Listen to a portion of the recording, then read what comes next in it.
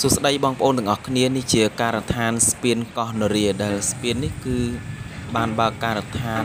សាងសង់កាលពីថ្ងៃទី26ខែតុលាឆ្នាំ2020ហើយបច្ចុប្បន្នការដ្ឋានស្ពាននេះគឺសម្រាប់បានប្រហែលជាជាង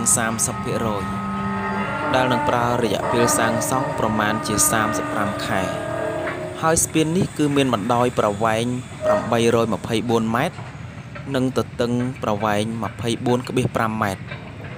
និងមានសសរខ្សែកាបកម្ពស់60ម៉ែត្រចំនួន2ដើម ស្ពាននេះគឺមានចរាចរណ៍ទ្វេទិសពីកន្លងទៅនិងពីកន្លងមក ដែលចំណាយថវិកាសាងសង់ចំនួន38លានដុល្លារសហរដ្ឋអាមេរិក